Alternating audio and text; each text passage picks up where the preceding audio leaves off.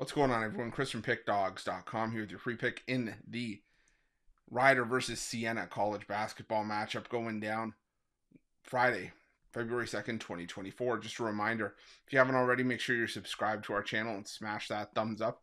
If you're looking for my best bets, the games that I love, including my daily $19 best bet, make sure that you head on over to PickDawgz.com and click the Premium Picks tab at the top of the page. But let's get to this one between Rider and Siena. Rider coming into this one with a record of 7 and 13 on the year, winners of back to back games and four of their last six, taking care of business on the road in their last couple as well, taking out Mount St. Mary's 66 to 62. Meanwhile, Siena coming into this one 3 and 17 on the year, losers of four in a row after ending up with a 63 to 52 loss at the hands of St. Peter's.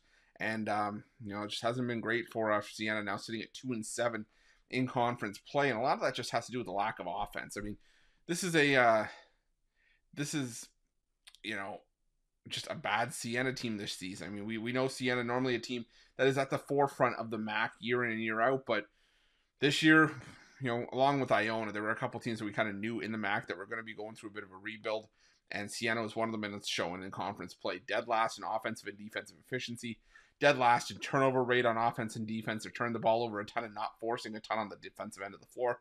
They're the worst three point shooting team in the conference. They're second in two point shooting, which is you know where they've they've made their money this season. But again, not doing a whole lot with it. And then while they do get, do a good job, Siena, of getting to the free throw line, they're not making good on their opportunities. They're third in the conference in three free throw rate, but eighth in free throw shooting, shooting 67.6% from the foul line in conference play.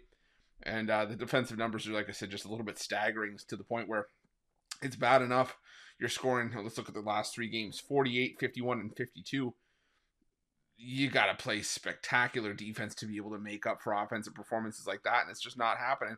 I don't know if it's going to happen here against Rider either. Now, sure, Rider, not necessarily the most stout defense out there, and they don't necessarily shoot the two all that well, which is alarming for Rider considering that, you know, they shoot the fewest amount of threes in the conference. They're shooting 35.4% from behind the arc. But like I said, when you're not shooting a ton of threes and you're relying on two pointers and getting to the foul line to do a lot of your heavy lifting, well, you know, when you look at the percentages that Rider has, doesn't inspire a whole lot of confidence. But that being said, maybe this is a play of more fading Siena than anything else. But despite those numbers, Rider has been able to pick up wins over teams like Mount St. Mary's and St. Peter's on the road. St. Peter's was leading the conference as well. You know, they got wins at home over Canisius and Manhattan.